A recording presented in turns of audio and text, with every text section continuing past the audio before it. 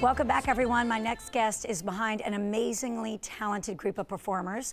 PowerTaps is the reigning national champion traditional clogging team in the nation. When they're not traveling the world sharing their talents, they are perfecting them right up the road here in Woodstock. And we are so happy to welcome owner and director of PowerTaps Clogging, Marcy Ricker. Marcy, thank you for bringing it on a Friday. Thank you. Thank you for having us. Incredible. Tell everyone what PowerTaps really is all about.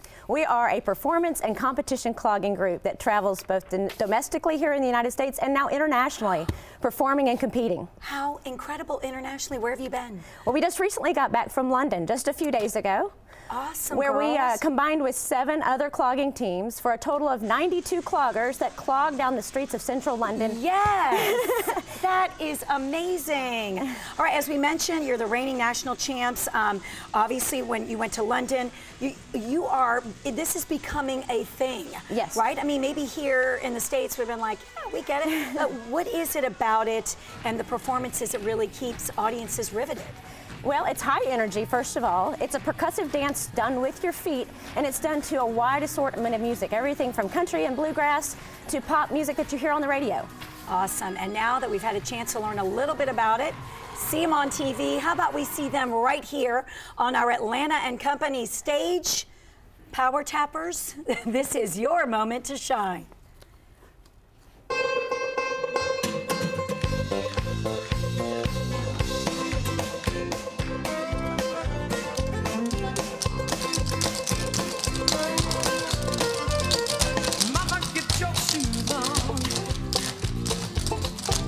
connected your hand.